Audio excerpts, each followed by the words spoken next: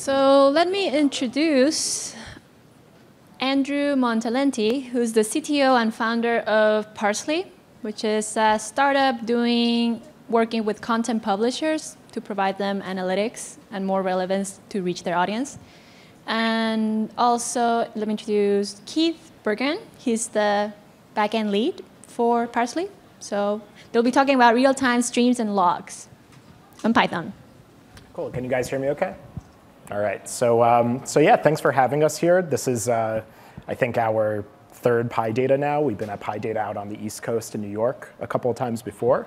Uh, we're excited to talk to you about some very new stuff, uh, real-time streams and logs with Apache Storm and Kafka. Um, the agenda of our talk is uh, to cover a little bit about what we do at Parse.ly and why we use Storm and Kafka in production uh, for our web analytics platform uh, talk a little bit about how you can aggregate, aggregate streams of data using Apache Storm, and particularly using uh, Python with Apache Storm. Uh, since it's a JVM technology, we've written some code that helps with that. And uh, then Keith will uh, dive into Kafka and explain why it's a good design principle to organize data processing systems around logs. Uh, some quick admin on this talk. Uh, all of the presentations and code that Parse.ly has given and open sourced are available at parse.ly slash code. So you can go there and you can actually see the project links that we're talking about today, as well as actually the web-based slides that you're looking at right now. So if you're in the back and can't see things, you can pull it up on your browser. We also have a note form of the slides up there, and uh, you can click on that link in order to uh, actually get more detailed info that you can copy paste, like code samples and things like that. So very quickly, what is Parse.ly? Uh, so Parse.ly, uh, as the introduction mentioned, is a web analytics platform for digital storytellers. These are some examples of our customers. Uh, we work with large-scale content publishers online, and they send us a lot of data that we use in order to help their journalists, editors, writers, and site managers understand how content is reacting uh, with audiences across the web. We get a lot of high-speed data, uh, the typical news story you could imagine has a very short shelf life, typically less than 48 hours. It's fast moving, it's minute by minute, second by second time series data. We get a lot of volume of data. Uh, thousands of posts per day are published by our content publishers, and uh, we've been tracking millions of posts across the web in this way. And some different kinds of data that we play with in our platform include time series, summary data that might do aggregates and grouping by different categories, uh, ranked data, and these are all screenshots from our dashboard that I'm just flying through. Uh, so ranked data that might group content by different tags or topics, uh, benchmark data that might compare how the certain content has performed relative to the past. Uh, and then in general, we kind of refer to information radiators that bring all this data together, real-time streams, historical streams, and uh, showcase basically how content is moving on their websites. So how did the architecture of Parse.ly evolve over time? Uh, well, we started like almost every distributed system engineering team with a basic queues and workers architecture. So how many people here have built a queues and workers architecture? Like almost everyone here, right? So like most people, we started with tools that are well-worn and understood, like RabbitMQ. Um, when we hit scaling issues with those, we moved to more lightweight queuing mechanisms like Redis and ZeroMQ. And with workers, we started with the simplest possible, which is cron jobs that are doing certain you know, things in Python, and then went up from there to something like Celery, which is a pretty nice worker system in Python's community. Um, but what we found is that over time, things started to get pretty complex, and I'm sure you guys have found this too if you've worked on complex or uh, large-scale data processing pipelines. You have a lot of workers. They're doing a lot of multi-stage processing. If anything breaks in the chain, you don't really know what happened. You start setting up ad hoc systems that start communicating across a lot of different boundaries. And it becomes difficult to debug what data actually ended up in your database and where that data actually came from in terms of its provenance starting in the queue. Uh, and also, you just have lots of moving parts. So this is an actual diagram I drew a couple years ago when I was trying to understand the system we had wrought on our servers, right? All of these workers and queues operating on real-time streams of data. And it just gets really messy. Um, and you, you basically start developing ops dashboards and spending most of your time trying to manage systems rather than actually building business logic around the time series data you were collecting in the first place. Uh, So Storm is actually a framework that was developed at Backtype, a company acquired by Twitter uh, a couple years ago. Um, and Storm's now an Apache project. And basically, Storm tries to solve this workers and queues problem by turning it into a framework. So it's a distributed real-time computation system. Uh, you can kind of think of it analogously to uh, Hadoop in the sense that Hadoop gives you all these primitives for working with batch processing, while Storm gives you primitives for working with real-time computation or stream processing, for running long-running processes that are operating on a fast-moving stream of data, rather than, in the case of Hadoop, something where you might run batch processes across like file system uh, data sources. And it's perfect for a replacement for that messy system I just kind of outlined on the last slides. Storm's features are that it's fast. Uh, it can handle millions of tuples per second per node. Um, it's got fault tolerance built in, so it knows when nodes go down or when data isn't processed. And it can actually uh, rescale the, uh, the cluster appropriately in response to those faults. It has parallelism built in, and it's separate from your code. So you don't change your code in order to make your system more parallel. You just change the topology configuration, and your Python code becomes more parallel. Um, it has guaranteed message processing built in, which I'll cover more in a sec. And it has some easy code management and local development features, which we leverage. So the Storm primitives that are built into the framework are you typically start your data processing system with a streaming data set. And actually, we use Kafka for this, and almost everyone who uses Storm in production also uses Kafka for this. So we're going to cover Kafka in the second half of the talk, explain like why that's a good tool for that. But typically, you start with some streaming data. Then 0MQ is used under the hood for IPC, and bolts and spouts are the core abstraction in Storm. A spout is basically a process that generates a stream of data. And a bolt is a process that actually works with that stream of data and does some transformation on it. Um, and that topology is laid out in a directed acyclic graph. And that graph is basically your entire worker and queue system uh, as like a model of multi-stage processing. Then there are some ops parts of Storm, like the Nimbus and workers, which manage execution. And then, like I said, you can tune the parallelism and get fault tolerance for free.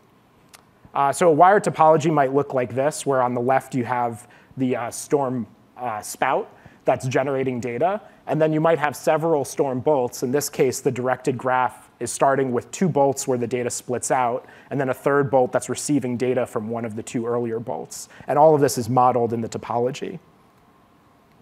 Storm also has a notion of a tuple tree. And what that means is that it understands the source of every piece of data that's moving through your system, so that if a node goes offline in the middle of processing some piece of data, Storm knows where that data originated from and is able to replay the original tuple into your topology to reprocess that data. So in this example, we start with a sentence. Uh, that sentence might move through some bolts that do word splitting. And then those words might actually be counted, and the final tuple is a word and the current count for that word. And the issue here is that Storm can efficiently know that if a bolt, while it was trying to count the word uh, cow, for example, falls over, that actually it needs to replay the sentence where that word came from, as well as any of the other sentences that might have contributed to that count. And it's able to do that very efficiently. So I'm going to show you a couple of code examples now, and then I'm actually going to jump into the command line to show you the project that we built that makes deploying Storm topologies really easy with Python. Um, but I'm going to breeze through the code first, then I'll show it to you from the terminal. So basically, the two things you need to do in order to use Storm is that you need to write your logic using uh, some integration library. We've built one that's called StreamParse, which we're going to show you today. Um, and then you have to actually describe the layout of your topology in a domain-specific language that's built for that purpose. In this case, the language we're using is one that's bundled with Storm, which is called the Clojure DSL. Uh, it's written in Java's Clojure, like Lisp-like programming language, but you don't really have to know much about Clojure in order to use it. Essentially, you can see that it looks kind of like a Python dictionary, and it's basically saying, uh, I have a spout that's called a word spout, and that spout corresponds to a file called words.py.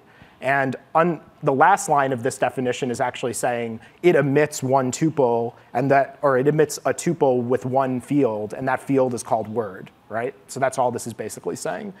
Um, if I implement that spout in Python, it looks something like this. And, uh, and basically, in this toy example here, I'm just going to emit uh, I just create like an infinite stream of words like dog, cat, zebra, and elephant.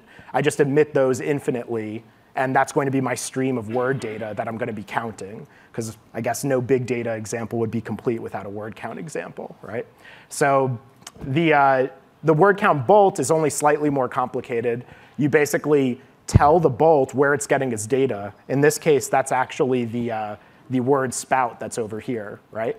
And then you actually tell it, OK, this is the implementation of my bolt. These are the two fields that I'm outputting. And then here's something interesting. I say P2. And what this means is I tell the topology definition, I want my bolt to run with a process parallelism of two. So have two Python processes that are inputting data from the spout. Um, and that's hinted here.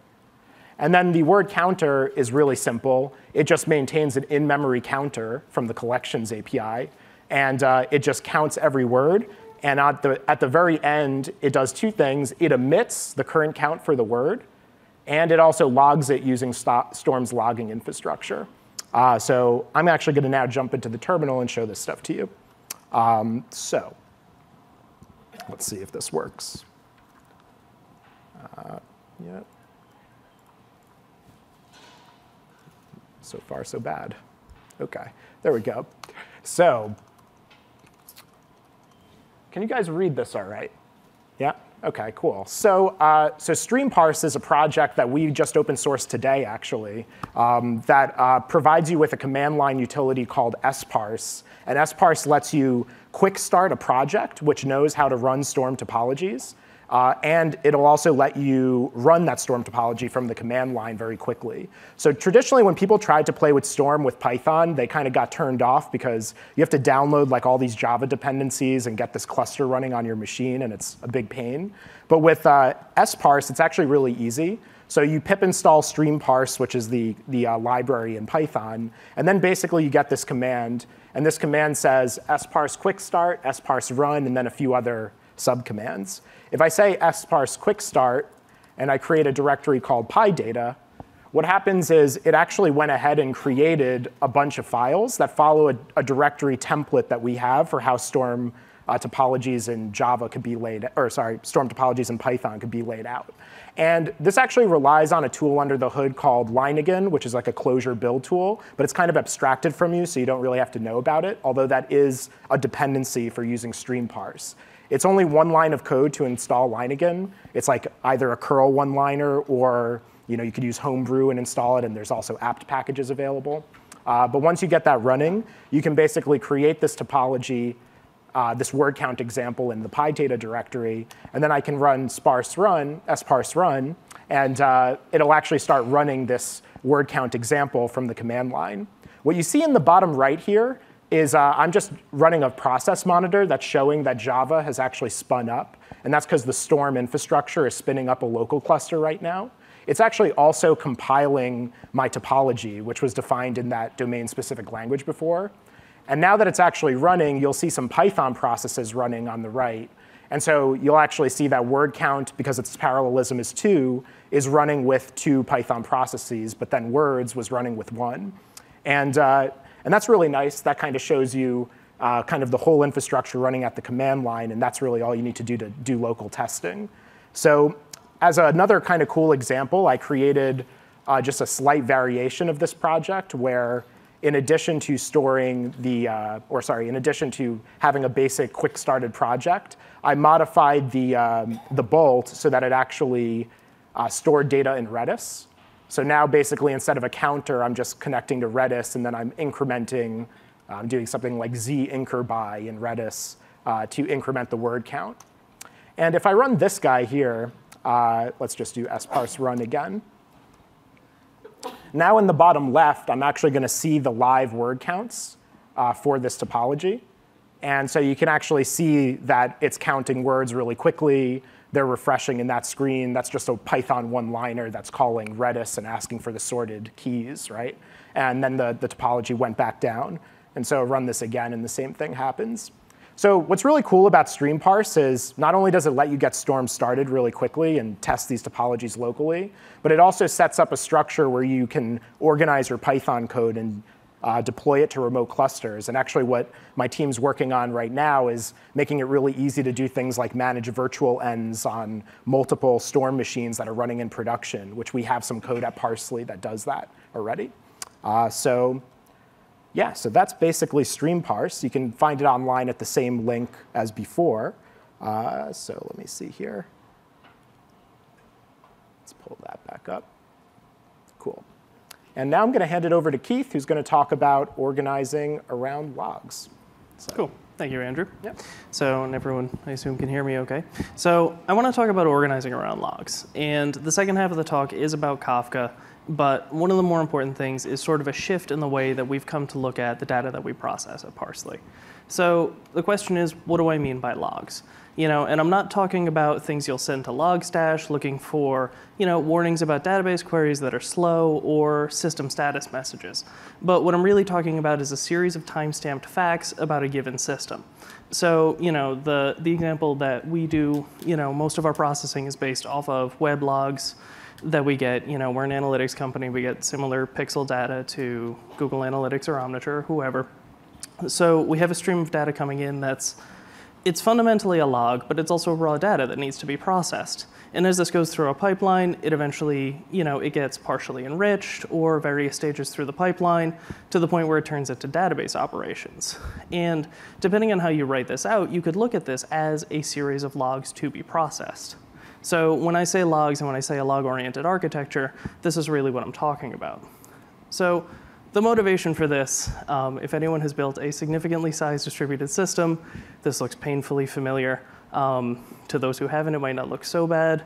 What happens is you start with one system, and then two systems need to talk. So those two systems get hooked together. Then you need a monitoring system, so that gets connected to the monitoring system, and eventually you end up at this lattice slash spaghetti mess, uh, the diagram taken from LinkedIn, where every system needs to talk to every other system for various reasons.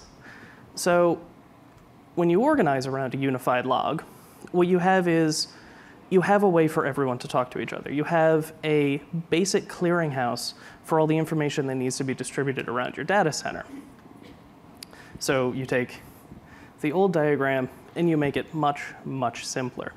So now everyone who needs to know about the status of your system, about what's going on, merely needs to basically tail-f the log. So that's obviously not practical to run 37 tail processes on each machine, but you use a queuing system or another system, um, excuse me, to manage as a clearinghouse for that data. So needless to say, as I mentioned earlier, we are most decidedly a log-centric organization. Um, we were not built with that idea explicitly. It just sort of fell out of the problem domain that we solve for. Um, and ironically, in this diagram, the log is not central to the diagram, but it is most certainly central to our data processing. Um, you can see it, it's the second one down on the left. So, and it was Andrew that actually came up with this insight that when you start thinking about our data and how we work with it in terms of logs, all of our databases, be it our real-time database, our archival database, the data isn't, that is not the canonical source of data. The only canonical source of data we actually have are the raw web logs. And as long as we have those archived, everything else is functionally a materialized view on that information. And once you realize that, it's actually kind of a freeing concept because you don't have to worry about losing an analysis because it can always be rematerialized from you know, your base materials. So the question, of course, is what magical, amazing system could possibly handle all this data? Because as you grow, you know, scaling is always a problem. Um, and this is where Apache Kafka came in. So it is, it's from LinkedIn. It's a log-centric messaging system. Um, it's designed for incredibly efficient resource usage. Now, it solves a very specific problem and it sits in a very specific area because it's not quite a messaging system. It's not quite a pub sub system, and it's not quite a log aggregator like Flume or Scribe. It basically does all three of them. Um, and it does them in, in a really interesting way with some architectural trade-offs. But what it's able to do is it's able to get really kind of incredible throughput. Um, for us personally, we run it on three really small machines in AWS, uh, but it's able to handle, the only bottleneck we have is network throughput. So when we need more network throughput, we add new machines. But in terms of disk, in terms of memory, you know, it's serving up tens of thousands of messages per second with virtually no load on our machines. So, and also for note, um, I guess O.8 is not a new release at this point, but it's also able to have full replication of data um, and your, your data as it goes through uh, as of O.8. So to go over some quick concepts of Kafka, uh, you have a cluster, you have brokers within the cluster. This is a familiar architecture. Um, it ends up feeling a little bit like Cassandra, where you have a ring architecture where uh, the topics themselves are distributed among uh, the um, are distributed among the brokers based on various rules you set in terms of replication. So within each broker, we have a topic, and the topic is, it's like a pub sub topic. It's what you produce to, it's what you consume to. And for the sake of replication, it actually takes that topic, which is organized like a log file, and breaks it into partitions. So your topic might be named raw data, but it'll also have, say, 10 partitions that make their way around the rest of the cluster. So producer is pretty straightforward, produces messages. Consumer groups, you can actually organize your consumers so that you distribute the reading among several machines so that uh, it's guaranteed that each message only reaches a consumer once. So for handy distribution, fault tolerance, and parallelization. Uh, offsets I will get to in just a moment. But first, what's the catch, right? It sounds strange, new, magical, wonderful. It's all of those things.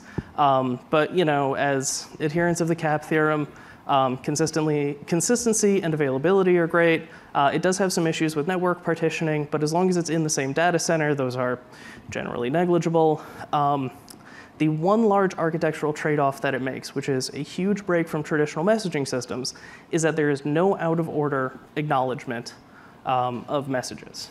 So and this is what I mean by the offset on this slide, to go back. So Kafka does not store message state on a message per message basis.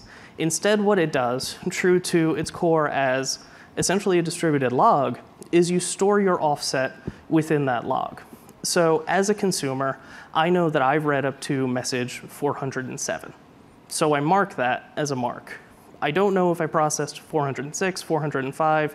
If there was one missed in there, there's no way to functionally store that within Kafka. So what it means is that it is, again, to go back to the analogy of tail-f on a log file, it's very similar to that. On a restart, you're going to know where to pick up within that file because it is disk-backed and it's going to keep the, um, the data around for a while. So you know where to restart, but if there are little bits of missing information behind there, you're not necessarily going to know that. Uh, this sounds like a really big problem. This sounds like a huge deficiency compared to traditional messaging systems. In practice, with a couple clever solutions around batching uh, and a little bit of care, it's actually proven to really not be a problem for us, at least, with the kinds of problems that we solve. So again, to go over Kafka as the idea of a distributed log.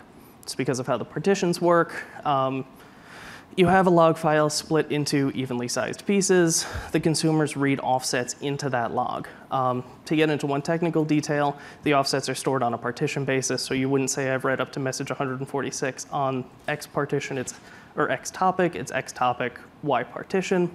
But messages can be replayed because it's all disk backed, um, and logs are maintained for a configurable period of time, uh, and consumers share identical logs easily. So this is something that, compared to a lot of systems, um, is a huge difference. So if you're using Redis's pub sub feature, it needs to keep track of every consumer it's blasting messages out to. If you're using RabbitMQ, for every consumer, it stores message state for every message and every consumer. So, you know, whether it's read, whether it's acknowledged, failed, retrying, and all that. Kafka is a pull-based system. So, in fact, prior to uh, 0.8.1, it didn't actually store those offsets. You were responsible for storing those offsets in Zookeeper, or the client was. Um, so really, when you make a request from a Kafka topic, you're requesting X messages from a certain uh, from a certain topic slash partition. It's entirely pull based. So what this does is this actually reduces the load of what the Kafka server needs to keep track of, and it's able to parallelize to a number of consumers with exceptionally small overhead. There's no duplication of messages, there's no duplication of state. Um, Zookeeper or whoever might need to store more offsets, but those are generally integers and easily stored. So to revisit the idea of queuing problems, I alluded to this in the previous slide. Um, RabbitMQ and Redis have serious shortcomings when dealing with very high volume traffic. So you can scale a RabbitMQ cluster up to the size that we need, but it would take maybe an order of magnitude or two more hardware than we use right now. Uh, and it's largely because of these architectural trade-offs like uh, out of order acknowledgements. You know, random disk access is very, very slow. And especially when you're talking about spinning disks, to have to go back and mark messages as acknowledged, as failed, ends up putting a huge amount of load on the system. So, and again, really the big thing is that more consumers not leading to more server load ends up in terms of scaling being huge. It means that you can add new consumers for your data without ever really having to worry about it. You know, so if you have a new monitoring system or you have whatever. So this brings us back around to the earlier bit about Storm and why the two are such a good fit together. You know, and over the evolution of Storm, there have been various messaging systems that are in vogue, like Kestrel or Starling. Um, people have used Redis for messaging, but by and large, Kafka is very popular in the Storm ecosystem today. Um, Andrew, when he was talking about the tuple trees and the retrying, so Storm's basic guarantee is at least once processing for every tuple, um, not exactly once. And there is ongoing work in the community via a project called Trident to bring guaranteed once processing, but in general, it provides at least once guarantees. So this really fits in with Kafka's lack of out of order acknowledgements. Since you don't have a strong guarantee on the consuming system, the producing system doesn't need the same strong guarantee. Um, and needless to say, if you have a system that's able to produce millions of, or that's able to process millions of tuples per second, it would be awfully nice to have a queue system that could serve millions of tuples per second. Um, and the other thing that has come in really handy for us is that when you have a high performance messaging system that you can basically throw anything you want at it without really having to worry, um, you can do all sorts of interesting tricks. So the one thing we use it for are basically relief valves within our pipeline. So let's say one of our database machines is sick, you know, either it went down or whatever, and our write throughput is suffering. We have a, we have a, um, we have a Kafka log right in front of that, right before it gets written, so that it doesn't shut down our entire pipeline when that one area has a problem. You know, you're able to basically handle the back pressure from that, make sure that it doesn't knock over systems further down the pipeline, um, and generally keep the real-time processing system happy and healthy. You know, we're in news analytics, we deal with very spiky data, um, and it's really nice to be able to handle it in a sane manner without dying. So this, unfortunately, I don't have anything nearly as fancy as Andrew to show, uh, but there are two current Python drivers for Kafka, one for 0.8, one for 0.7. Um, the reason I bring up the two, given that 0.7 is a bit older, uh, is that this one currently does not support the fancy distributed consumer stuff I was talking about, where they share partitions. Um, this one's much simpler for 0.8 called Kafka Python.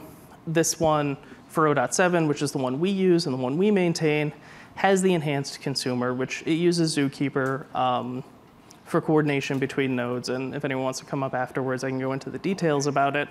Um, but that's why I bring up the two drivers. Uh, it's worth noting, depending on what you need.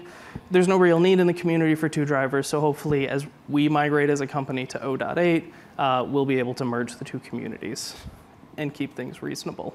Um, needless to say, this whole log-centric thing is not necessarily our idea. Uh, a lot of other companies are involved, you know, have the same way of thinking about the data that they process.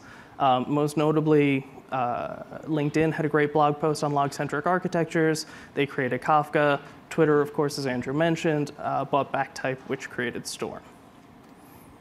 So in conclusion, what we've learned, um, it goes without saying that there's no silver bullet in data processing technology. Uh, for me, I think having a high throughput messaging system has changed the way I think about a lot of problems, but it doesn't necessarily solve all of them. It just makes life a lot easier. Uh, you know, the other nice thing about log, log-centric architecture is that disk space is really, really cheap. So if you think about that as your principal data store, you know, you're not as worried about, as long as you can make it queryable in the end, um, it's not as much of a focus on the memory heavy systems. So timestamp facts in their rawest form are a great source of data. Storm and Kafka both let you develop on top of them. So we have a fair bit of time left. Um, are there any questions? I don't know if we have a mic going around.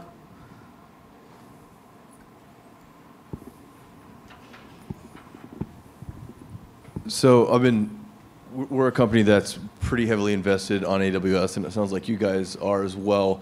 So why would I choose Kafka over something like Kinesis, which seems like it fulfills a very, um, the requirements are almost exactly, and the limitations sound like they're almost exactly the same, except I don't have all the overhead and the complexity of like a zookeeper setup and that sort of stuff. Is there something that Kafka gives me that Kinesis doesn't? So it ends up being a similar question to why do I roll Postgres instead of Redshift? Um, it's usually a question of cost. Uh, in terms of features, I personally haven't investigated Kinesis probably I've as much as I should so, have. So Kinesis actually uh, basically imitated the Kafka API and was coming out, out around the same time that Kafka was getting popular. So like Keith said, it's a question of do you want to lock yourself into you know the Amazon infrastructure, or do you want to run open source software on your own hardware or your own virtual machines? That's really all it comes down to. Yeah. But from a feature set, performance, or from a, I guess a similar concept, they both scratch the same itch. Yes, I think they both scratch the same itch. I don't know exactly in the weeds like what Kinesis has that Kafka doesn't. I haven't done like that analysis, but I know that they're very kind of similar uh, philosophically. You know, yeah. Um, one of the things that's really nice about Trident is that you basically specify your topology in, in a very functional way, um, and, and then it sort of computes the physical execution plan for you. Do you guys have any plans for StreamParse to do something like that with your Clojure definitions, or, or no? So we've started looking into it. Um, there's a Jira ticket open on Storm to get multi-lang support for Trident. Uh, barring that, we can't really do a whole lot uh, because you know it's very heavily tied to the, the JVM and all that. Um, but that's certainly you know as we as we work on StreamParse, that's definitely something we're going to be looking into because it really does seem like Trident is the direction that Storm's moving for pretty much everything. Keith, can you Yes. talk a little bit about uh, some of the overhead costs you might incur on switching over from a non-log-based system to a log-based system, and uh, either some of the scales at which it becomes appropriate, or some of the strategies you might have used to accomplish that? Uh, certainly. I mean, for us, it was it was very much changing the way we looked at the problem we had. Uh, we didn't actually make a lot of huge architectural changes when we first started looking at it this way. We're starting to as we move down the road. Um, I think one of the better examples is, you know, we do a lot of web scraping. Um, and storing logs for that instead of just ephemeral data in a database would be really nice. Um, Well, I guess the, the, costs. the big the big win you get, I guess, if you're switching, if you're kind of switching mindset, is that you start treating your databases like pure indexes and not like databases. So that also means that if you're evaluating all these newer databases that have different trade-offs, it's very easy for you to basically run two systems in parallel that are both like computing similar views but on different database technologies of your original log data. And um, if you treat your database as like the canonical store, then that might be like a painful schema migration problem. Yeah, so it's much more of a conceptual change than an architectural one for us. Um, so specific changes one would make, you know, as long as you're storing all your raw data in a very raw format, wouldn't be huge. Yeah. In terms of like scale, I guess I don't know. I, I, I think that it probably comes down to, uh, you know, if you're doing thousands of messages per second and you feel like back pressure on a RabbitMQ instance or uh, overflow on your Redis instance is like imminent, and you're starting to investigate things like how to distribute out Redis using some of the newer stuff that's available, you might you know, be at the right scale where maybe you should look at Kafka instead, right? But if a single RabbitMQ instance is serving your whole plant fine, then that's fine. Uh, you know, so Where, where did you build your uh, message resiliency? Means the fault tolerance if something breaks uh, during the tr- tr- transition. So, so, so there are three parts of the question. So that's one part, and I'll put all the three. Um, second is how complex is your logic uh, in the middle tier, which is in at the storm uh, uh, processing. So complex event processing place. And then what are the other uh, end persistency model did you use? Was it Hadoop based or uh, any other uh, database or uh, because when I see so many messages coming in the pipeline, you must have uh, interesting implementation for persist the data. So that Okay, so, parts. all right, so to take that from the first part, um, most of our redundancy for the actual log collection and persistence to Kafka uh, is handled by Kafka itself. Uh, so our data collectors write directly to the Kafka instance, and then we rely on Kafka's replication for the actual persistence and resiliency there. Um, as far as the actual complexity of the storm topologies, you know, we have two topologies that run in sequence with a Kafka queue in between. Um, I mean, I don't, I don't know how to evaluate complexity. I mean, I, I built it. I feel it was complex, um, but that feels like a very subjective evaluation to me. Uh, but as far as the data persistence goes, that was actually a really interesting problem for us. So our principal data store is MongoDB. We really appreciate the queryability. A lot of things work, but write throughput isn't the best in the world. You know, if this was Cassandra, the story would have been a lot simpler. But with MongoDB, we had to worry a lot about overflowing it, um, especially when we were running on smaller instances. We used to swamp them all the time. So this was actually where we put um, we actually put a Kafka instance right in front of where we write to the database. So it was basically writing out MongoDB's oplog to Kafka before it got to Mongo, at which point we could take all those operations and reduce them. So we do a lot, you know, we're an analytics company. We do a lot of adding one and one a lot. Um, so you take all those operations, you reduce them to their most information efficient form, and you end up reducing the number of operations that are actually sent to Mongo. Um, at last count, I think we had 100 to 1 efficiency on that. So we produced, you know, 100,000. We ended up only writing 1,000. But you don't in in Storm. You don't have the acknowledgement uh, method to tell sender that I have processed the message completely. You do actually. Yeah, you do. you do Um, have okay. yeah. All right. Yeah. So it's part it's part of both the multi-lang protocol and the, the core Storm API that you can acknowledge that a tuple has been processed or you can fail a tuple. And in that case, it'll replay the tuple from the tuple tree's uh, root if you fail it, no matter where in the topology you fail it. All right. Thank you.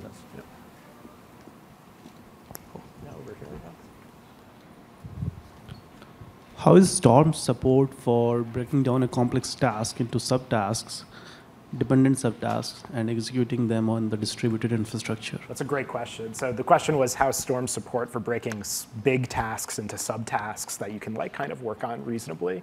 And um, and actually that's one of the big wins we've gotten out of Storm. So for example, uh, when we do teamwork on data flows like these, we often uh, break up our project by thinking about the inputs and outputs of different bolts inside a Storm topology. And we have different engineers working on different bolts and testing them in isolation before wiring them together in a topology. And what's really wonderful about this is that no engineer has to really worry about you know, uh, how it's going to run concurrently in practice, and no individual engineer has to worry about like, you know, message acknowledgement and replay and failed, you know, all of this kind of stuff, and not to mention monitoring and all of the rest of it. Um, instead, that code gets tested in isolation, and when you wire a topology together, um, you actually have like a complete data processing pipeline, um, but each component is kind of on its own. So I, I think it actually does really help with teamwork on some of these uh, streaming data problems. Uh, kind of is the right level of abstraction for that.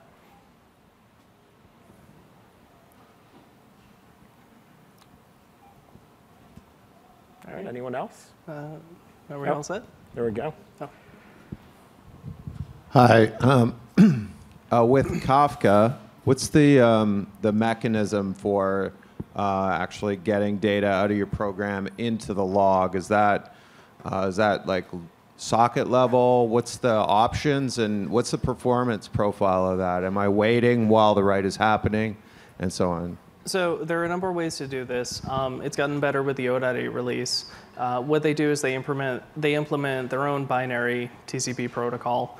Um, so it's not HTTP REST or any of that, uh, which ends up giving you a little bit more efficiency uh, at the expense of you know driver writers like myself have to implement a binary interface.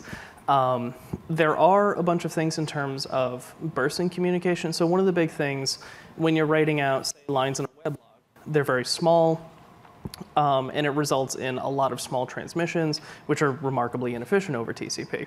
So there are, in a properly implemented driver, uh, batching mechanisms so that you're sending fewer, larger messages to the Kafka broker. Uh, it does the same thing on the back end when sending messages back. Uh, so in general, throughput we've seen, I mean, we do, and again, we run, eh, by all measures, a, a pretty small cluster. Uh, it handles, I think, 20,000 messages per second, uh, which for us translates to, I think it's 75 megabits in, about 160 megabits out. So, and that's not, I mean, those machines are really underloaded. So we've been, we've actually been ramping up how much we use Kafka because we have so much, we're so over provisioned. So, yeah. Yeah, I understand that you, you're downsampling before you store in MongoDB. Mhm. Would it make sense for you if there were a use case where you wanted to preserve all of the logs intact to dump them into something like Elasticsearch so you could then preserve the entire uh, data? So we actually do keep all the logs. We store them in S3 and Amazon S3, and then we use traditional Hadoop tooling to do batch processing over the logs. So you know, part of the log-centric infrastructure is that the log data comes in, it gets backed up right away, so we can rebuild from it at any moment. But then the live stream of data moves through the storm processing plant, and real-time computation happens from there. Um, and yeah, you're right that you know technologies like Elasticsearch. Uh, I don't think in, we've actually played with Elasticsearch, and it wouldn't really work to send all of our logs into Elasticsearch, or at least we'd have to run a really massive Elasticsearch cluster to make that happen. But you could do a little aggregation and then put data in a source like that, and it would work pretty well. All right, let's give a round of applause to Andrew and Keith. By the way, feel free.